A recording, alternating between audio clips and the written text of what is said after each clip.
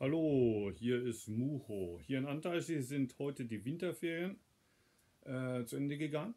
Äh, heute sind alle Klosterbewohner wieder zurück im Kloster.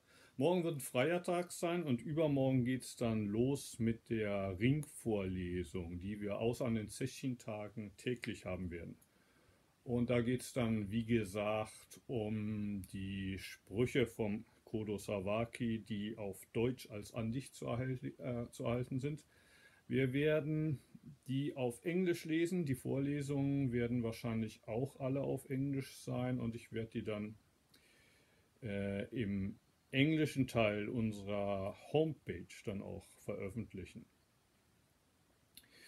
Ähm, heute äh, setze ich das vierte Kapitel äh, vom Nagai online, äh, also das kleine dünne Buch von Hitoshi Nagai, das ich übersetzt habe und das im Moment den Titel Penetré und Ich trägt. Äh, ein Gespräch eines 14-Jährigen mit seiner Katze. Und äh, in diesem Gespräch geht es um die Frage, wer eigentlich bestimmt, was gut ist und was schlecht ist. Und dass das äh, unter Umständen gar nicht so einfach ist. Hm. Der 14-jährige Schüler meint, dass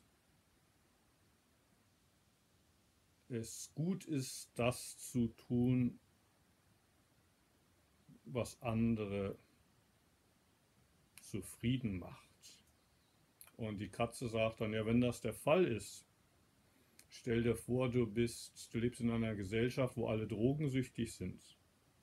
Alle wünschen sich, dass du ihnen Drogen gibst. Bedeutet das dann, dass es gut ist, denen Drogen zu geben?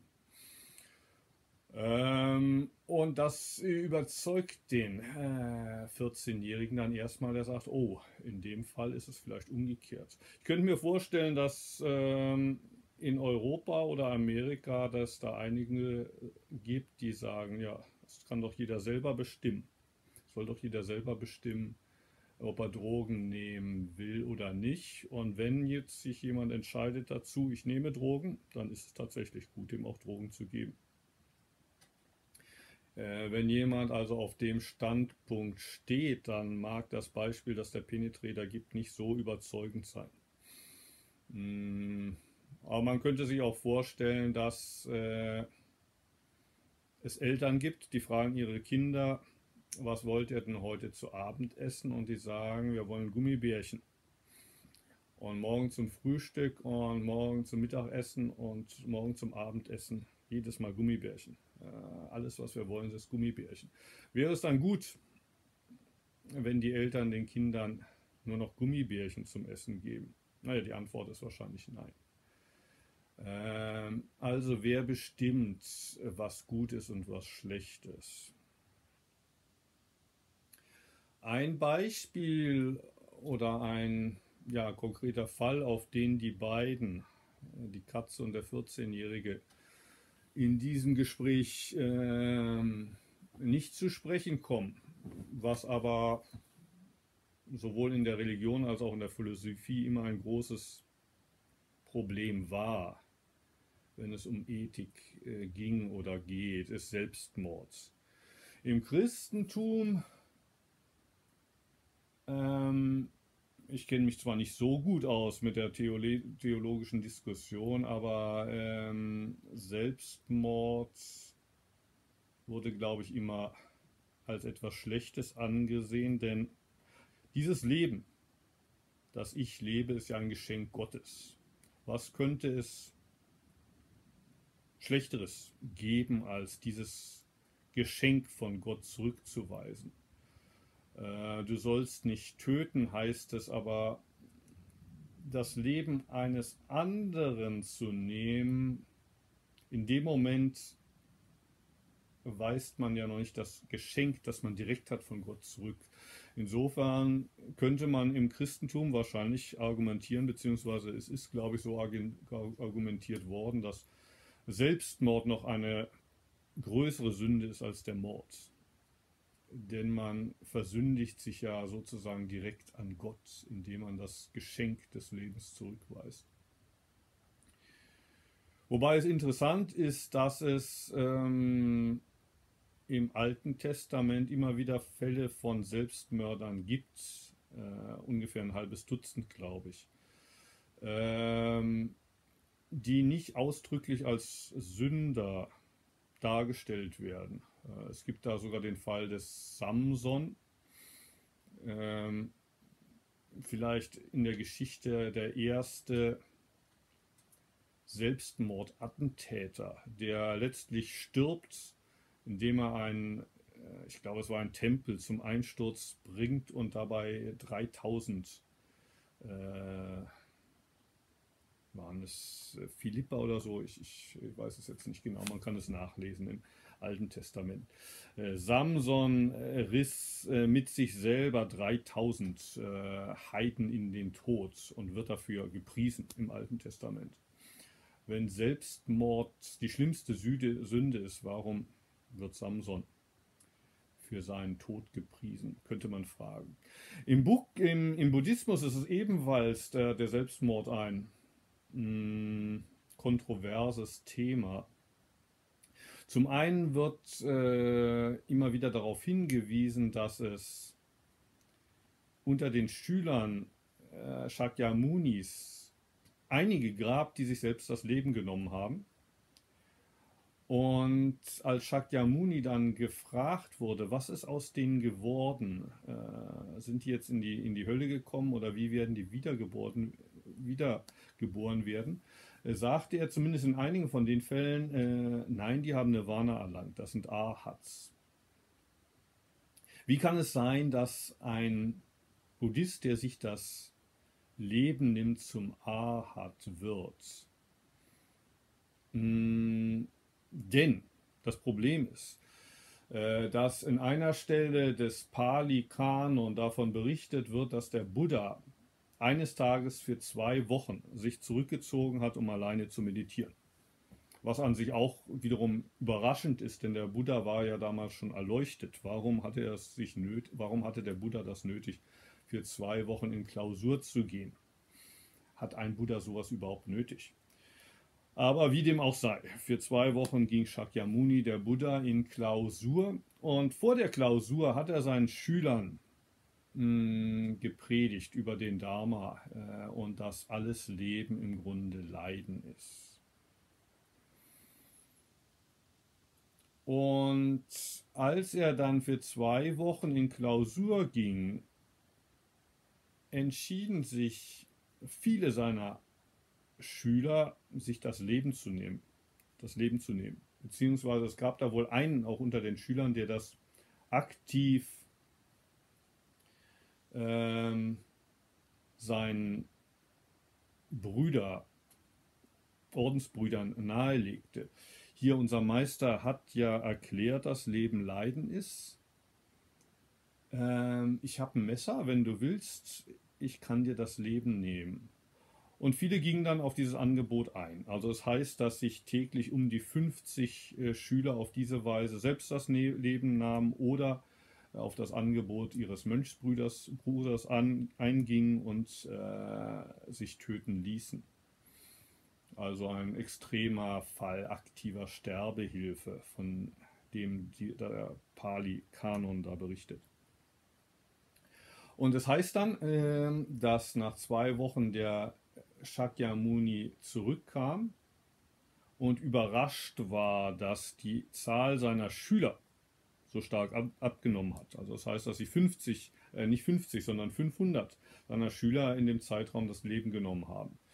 Und er fragt dann den Ananda, seinen Lieblingsschüler, äh, wie kommt es, dass ihr jetzt so viele weniger seid? Und der Ananda berichtet ihm alles und sagte, ja, Meister, du hast uns doch äh, erklärt, dass Leben Leiden ist und äh, täglich haben sich in der Zwischenzeit 30, 40, 50 von uns das Leben genommen oder ihren Bruderschüler darum gebeten, dass er sie töten möge und deshalb sind es jetzt 500 weniger.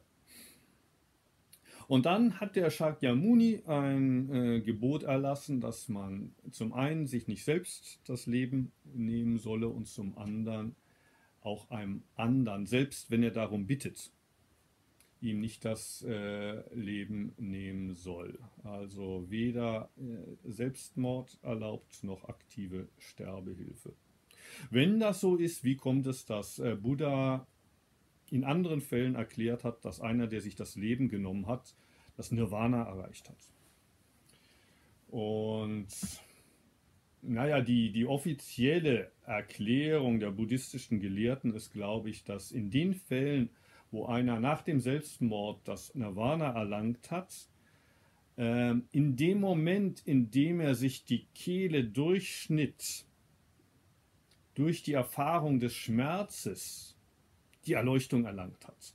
Das heißt, die Handlung selbst, der Selbstmord, äh, ist ein Ausdruck eines unerleuchteten äh, Geistes, aber der erleuchtete Geist hatte in den wenigen äh, Sekunden oder Minuten, die er noch lebte, nachdem er sich die Kehle durchgeschnitten hat, dann doch noch die Erleuchtung erfahren. Äh, das heißt, durch Selbstmord erlangt man nicht das Nirvana, aber wenn man nach dem Akt noch die Gelegenheit hat, zum Beispiel durch die Erfahrung des Schmerzes, äh, zum Dharma zu erwachen, dann kann man das und dann vielleicht eben durch diese Erwachenserfahrung das Nirvana erlangen. Ähm, für mich persönlich wird die Sache dann auch noch verkompliziert durch die Geschichte des Todes von Shakyamuni selbst, äh, wie sie im Pali-Kanon äh, dargestellt wird. Ich weiß nicht, ob ich das jetzt korrekt zusammenbekomme, aber ich werde hinterher, äh, wenn ich den Link finde, noch einen Link ähm, zu der Stelle im Pali-Kanon hier drunter setzen, sodass man sich das durchlesen kann. Ähm, wenn ich das richtig zusammenbekomme, war der Shakyamuni 80 Jahre alt, als er einmal sehr krank wurde. Und diese Krankheit hätte ihn durchaus das Leben kosten können, aber der Buddha beschloss, noch nicht zu sterben in dem Moment. Ähm, und zwar deshalb, ähm, weil es während der Regenzeit war, äh, wo die Schüler nicht gemeinsam den Buddha begleitet haben auf äh, der Reise, sondern jeder für sich äh, für drei Monate meditierte. Das heißt, wenn der Buddha in dem Moment gestorben wäre, an dieser Krankheit gestorben wäre, an der er erkrankt war, dann hätte er keine Gelegenheit gehabt, noch einmal seine Schüler um sich zu scharen und noch einmal eine letzte Predigt zu halten. Das heißt, der Buddha beschloss, gesund zu werden. Und als Buddha hatte er diese Kraft, gesund zu werden aus eigenem Entschluss. Und der Ananda, der damals bei ihm war ähm, und der, der Buddha, der Lieblingsschüler war des Buddha und äh, der auch die ganzen Predigten auswendig kannte. Ähm, der Buddha fragte dann den Ananda zu der Zeit, ähm, du weißt äh, alle meine Predigten, du weißt, ich habe äh, über das Leiden, über die Substanzlosigkeit, über die Vergänglichkeit, alles gesagt, was es zu sagen gibt. Und die Vergänglichkeit, die Substanzlosigkeit, die betrifft natürlich auch den Buddha selbst, mich selbst. Ich werde eines Tages äh, sterben, das ist dir klar. Und Ananda sagte, ja Meister, das ist mir klar. Und der Buddha sagte, wenn dieser Tag kommen wird, werdet ihr Schüler darauf vorbereitet sein und werdet ihr in der Lage sein, mit der Praxis fortzufahren. Und der Ananda sagt, ja Meister, du hast ja alles, äh, was es zu erklären gibt, erklärt. Ähm, und wir Schüler sind äh, bereit dazu und auch dazu in der Lage, mit der Praxis fortzufahren, äh, wenn du Meister sterben solltest. Und der Shakyamuni war sehr froh, das zu hören. Und äh, die Regenzeit war zu dem Zeit noch nicht vorbei, als der Teufel der im Pali-Kanon manchmal auftaucht. Wahrscheinlich ist es eine innere Stimme, ähm, die der Shakyamuni da vernahm. Der Teufel sagte, hör auf den Ananda, ähm, deine Schülerschaft kommt auch alleine zurecht und geh jetzt mal ins Nirvana ein. Es ist Zeit zu sterben. Äh, du bist 80, du bist ein alter Mann, du hast genug Leiden ausgekostet. Als Buddha wartet das Nirvana auf dich. Warum stirbst du nicht? Und der Shakyamuni sagt äh, zu dem Zeitpunkt, äh, nein, Teufel, du kannst mich nicht in Versuchung führen. Äh, noch ist der Zeitpunkt nicht gekommen, es ist zu früh dafür, aber ich kann dich beruhigen insofern, als dass ich in drei Monaten ins Nirvana eingehen werde in dem Moment, ähm, ich weiß jetzt nicht genau, wie die deutsche Übersetzung ist, äh, die englische Übersetzung und auch die japanische Übersetzung, sie sind alle ein bisschen verwirrend. In dem Moment heißt es, dass ein großes Erdbeben mh, mm, verursacht wurde, weil der Buddha mh, mm, die Wurzel, die Wurzel seines Lebenstriebs durchschnitten habe. Ähm, kann, kann sein, dass jetzt, was ich hier sage, die Wurzel des Lebenstriebs nicht äh, die korrekte Übersetzung ist, aber so habe ich das interpretiert. Nach dem Gespräch mit Ananda ähm, schneidet der Buddha etwas durch und das ist nicht wie sagt man, wieder gut zu machen. Also es ist nicht umkehrbar. Er macht da eine Entscheidung, die nicht umkehrbar ist und die Erde bebt. Genauso wie sie gebebt haben soll an dem Tag, an dem äh, Buddha äh, erwachte unter dem Bodhi-Baum und sie bebte bei anderen wichtigen äh, Vorkommnissen, als der Buddha geboren wurde, äh, ich glaube auch, als er in der Hausla Hauslosigkeit auszog. Während verschiedenen Stadien äh, im Leben des Buddhas bebte die Erde und äh, als er die Wurzel seines Lebenstriebs durchschnitt, das war das vorletzte Mal. Das letzte Mal, dass die Erde bebte, war dann, als der Buddha ins Nirvana einging. Ähm, was dieses Abschneiden Le des Lebens Triebs, der Lebenswurzel bedeutet, weiß natürlich keiner genau. Was ich mir vorstelle, ist, ähm, es heißt ja, dass er mit 36 Jahren äh, der Shakyamuni unter dem Bodhi-Baum die Erleuchtung erfuhr. Und eigentlich schon zu dem Zeitpunkt ins Nirvana hätte eingehen können. Oder in gewisser Weise hat er zu dem Zeitpunkt schon das Nirvana erfahren und er hätte eigentlich schon sterben können, denn er hat ja die Lösung gefunden.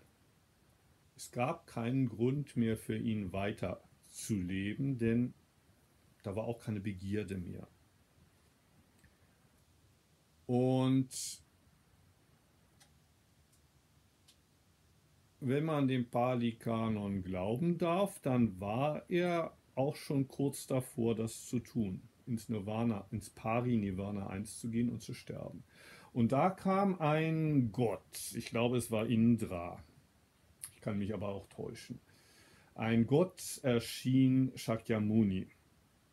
Und wiederum glaube ich, das war so etwas wie eine innere Stimme, die er da hörte.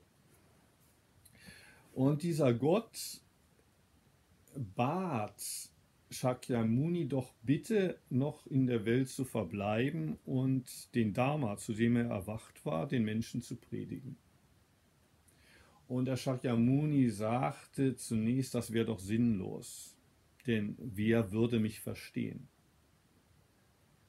Ähm, es braucht einen Buddha, um zu diesem Dharma zu erwachen. Von den jetzigen Menschen würde keiner keiner diesen Dharma verstehe. Und äh, der Gott bittet ihn, es doch trotzdem zu versuchen. Und selbst wenn dich keiner verstehen möge, versuch's einfach und vielleicht ist da ja doch jemand. Äh, sähe die Samen und vielleicht gibt es ja einen von diesen Samen, der aufgeht. Und es heißt, dass sich dann äh, der Shakyamuni überreden ließ. Das heißt, er hörte auf diese innere Stimme und beschloss 40 Jahre, über 40 Jahre dann noch durch Indien zu wandern und zu predigen. Das heißt, in dem, zu dem Zeitpunkt entschloss er sich, die Wurzel des Lebenstriebs nicht durchzuschneiden. Das heißt, er entschloss sich weiterhin, wenn er durstig war, Wasser zu trinken, wenn er hungrig wurde, zu essen, äh, sich um seinen Körper zu kümmern. Ähm, ich könnte mir vorstellen, dass er durch diesen Entschloss sein Immunsystem gestärkt hat, wenn sowas medizinisch möglich ist. Aber es das heißt, dass der Buddha zu allem Möglichen in der Lage war. Das heißt, er entschloss sich, ähm, gesund zu bleiben und wenn er krank wurde, sich um diese Krankheit zu kümmern und sie zu heilen und das Beste für seinen Körper zu tun. Und das hat er getan, bis er 80 wurde. Als er dann ähm, mit 80 Jahren einmal krank wurde, diese Krankheit geheilt hatte, dann aber voneinander äh, bestätigt bekam, dass er eigentlich jederzeit auch sterben kann, da hat er sich gesagt, okay, ich habe jetzt noch drei Monate, ich will meine Schüler um mich scharen, noch ein letztes Mal predigen, aber danach bin ich bereit zu sterben. Und das teilt er dann auch dem Ananda mit. Äh, der Ananda kommt zu ihm und, und sagt, äh, Meister, hast du dieses Erdbeben gespürt?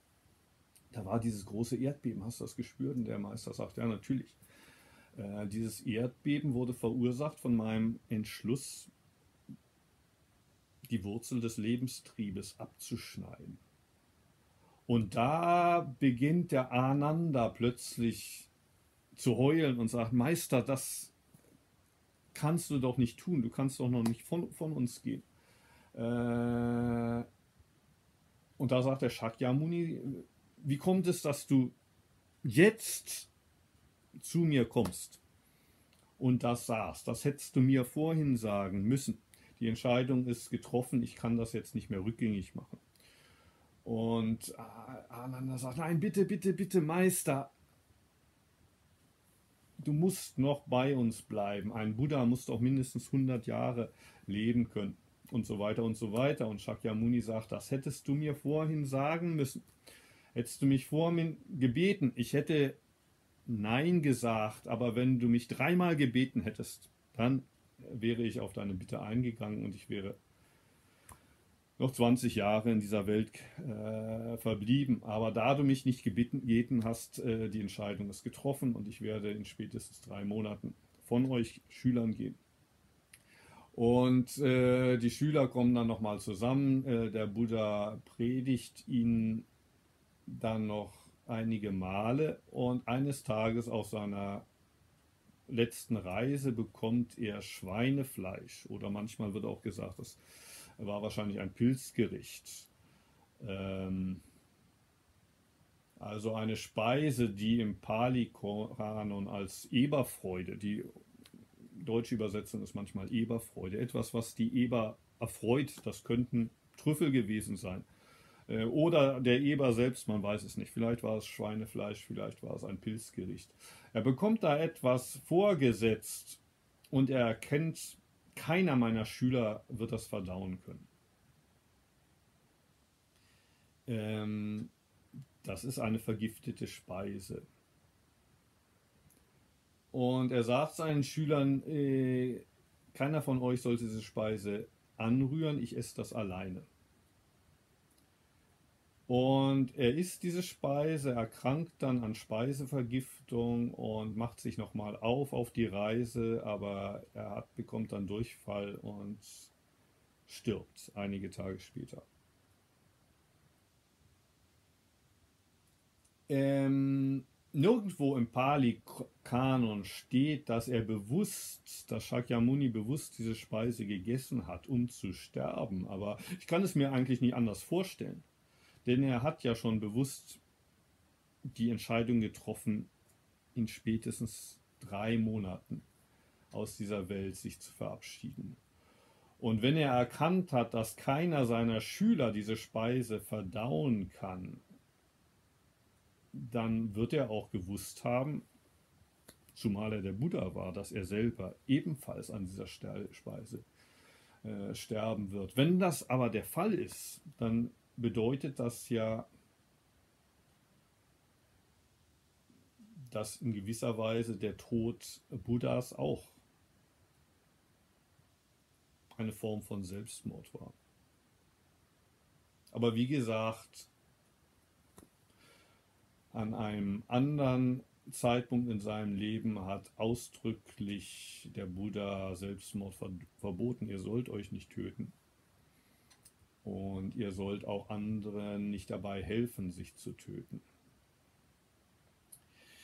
Ähm, in der Philosophie ist Selbstmord ebenfalls kontrovers äh, diskutiert worden.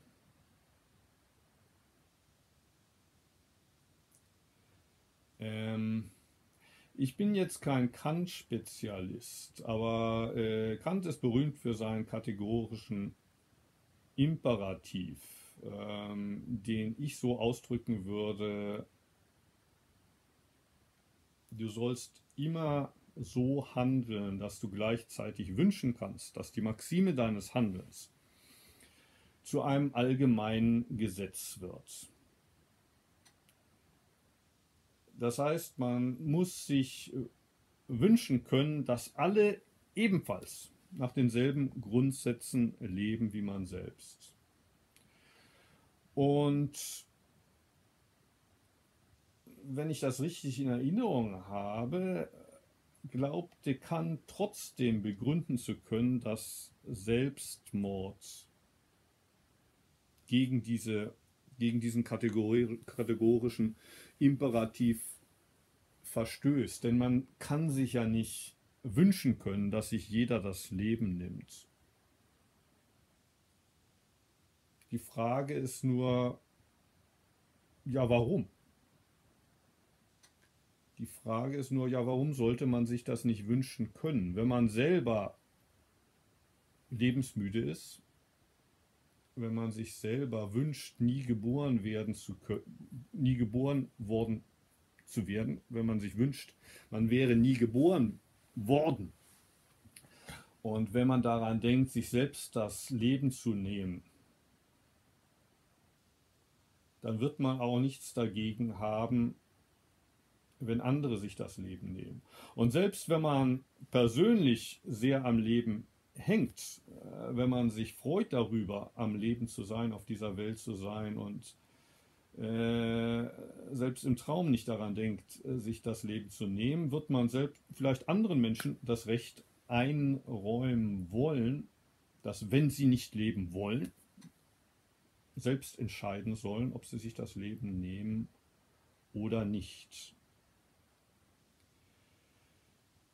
Und ich glaube, das ist ein Standpunkt, auf dem heute viele Philosophen stehen. Oder wenn ich recht informiert bin, ist es auch heute legal, sich das Leben zu nehmen. Und äh, je nach äh, Land, also in Deutschland ist es, glaube ich, legal, sich selbst das Leben zu nehmen. Das war nicht immer so. Äh, vor einigen Jahrhunderten war es ein Gesetzesverstoß, wenn man versucht hat, sich das Leben zu nehmen. Wenn man erfolgreich war, dann konnte man dafür nicht belangt werden natürlich. Äh, aber man durfte dann auch nicht christlich bestattet werden. Man war ja ein Sünder. Wenn man erfolglos versucht hat, sich das Leben zu nehmen, war das strafbar. Äh, war so wie ein versuchter Mord. Heute ist das, soweit ich weiß, nicht äh, der Fall. Es ist legal, sich das Leben zu nehmen. Aber es ist natürlich nicht legal, einem anderen das Leben zu nehmen.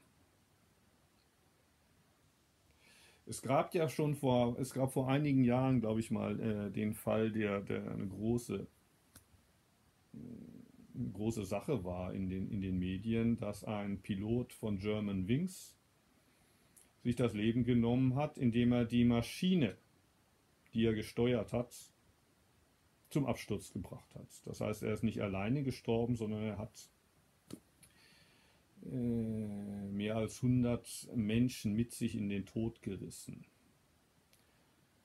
Und ich glaube, viele Leute dachten damals und haben das auch gesagt, ja, okay, wenn er unbedingt sterben will, wenn er unbedingt Selbstmord begehen will, soll er das doch tun. Aber warum muss er andere unschuldige Menschen mit sich in den Tod reißen?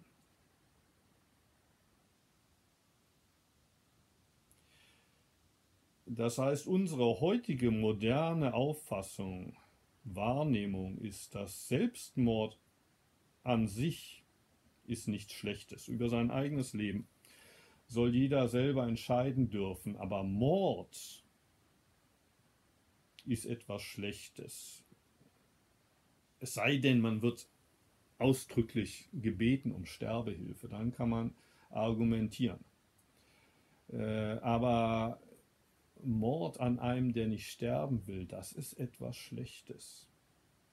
Aber hier, und jetzt kommt eben die philosophische Frage, wer beschließt das eigentlich? Da könnte man ja jetzt eben so wie Penetré argumentieren, ja, okay, ich bin umgeben von Leuten, die behaupten, sie wollen nicht sterben, aber das liegt daran, dass die unter dem Einfluss ihrer Illusionen glauben, dass das Lebens, Leben lebenswert ist. Die haben noch nicht erkannt, dass das Leben Leiden ist. Wenn die so wie ich zu der Wahrheit erwachen würden, dass das Leben nicht lebenswert ist, dass es besser wäre, wenn man nie geboren worden wäre. Und jeder Tag, den das Leben kürzer ist, jeden Tag, den man früher stirbt, ein Tag weniger Leiden bedeutet. Wenn die das erkannt hätten, dann wären sie froh, sterben zu dürfen. Sie haben das noch nicht erkannt, sie sind gefangen in ihrer, in ihrer Illusion. Ich will denen helfen, indem ich die zusammen mit mir in den Tod reiße. Wie würde man einem solchen Menschen erklären, dass das falsch ist? Wie würde man einem solchen Menschen erklären, dass er einen Irrtum begeht? Dass er sich zwar selbst das Leben nehmen darf, wenn er das möchte, aber dass er nicht kein Recht hat, einem anderen das Leben zu nehmen. Wie begründet man das?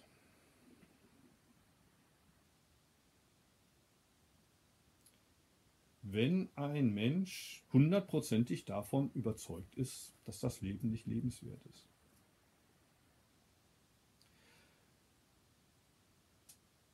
Wenn man wirklich glaubt, das begründen zu können, hey, wenn jemand wirklich leben will, dann musst du ihn leben lassen.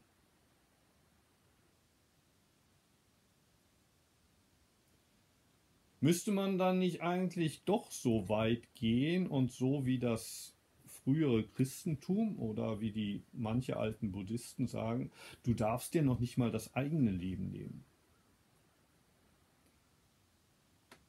Du magst zwar glauben, dass das Leben nicht lebenswert ist und dass du deshalb sterben solltest, aber genau das ist die Illusion. Du bist derjenige, der in der Illusion steckt.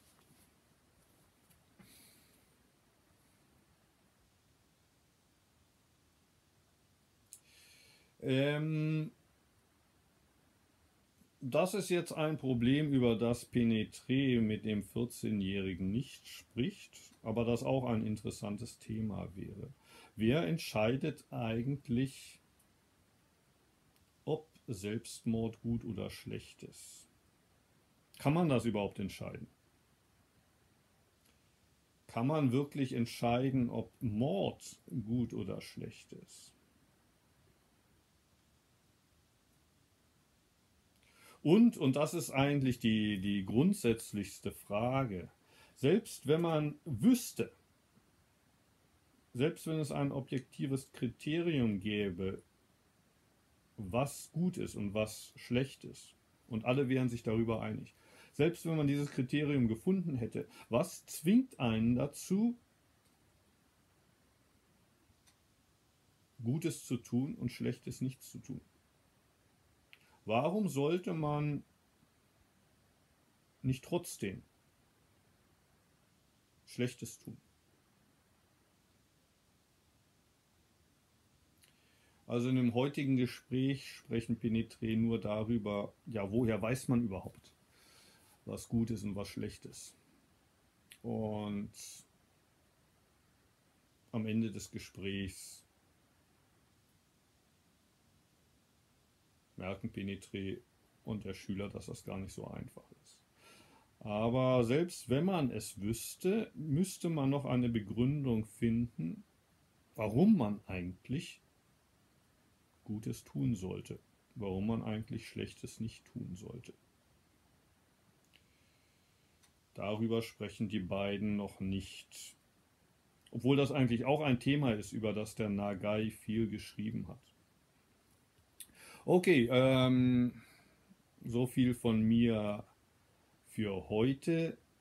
Ähm, wer sich das hier direkt auf YouTube anguckt, findet unter diesem Video einen Link äh, sowohl zum Pali-Kanon als auch zu der Übersetzung von Nagai. Wer sich das auf der Antaiji Homepage anguckt, äh, müsste unter Umständen auf den Titel von dem Video klicken, um zu unserem Blog zu kommen, denn unter dem Video ist unter Umständen der Text nicht vollständig. Wenn der Text zu lang ist, äh, dann kürzt den WordPress. Und wenn man zum vollständigen Text kommen will, dann klickt man auf den Titel. Und dann kommt man zu unserem Blog. Okay, äh, vielen Dank für die Aufmerksamkeit an alle, die das hier in voller Länge sich angeguckt haben. Und ich melde mich in wenigen Tagen wieder zurück. Und wenn die Ringvorlesung anfängt auf Englisch, dann werde ich äh, die Videos auch hochladen. Viel Spaß dabei.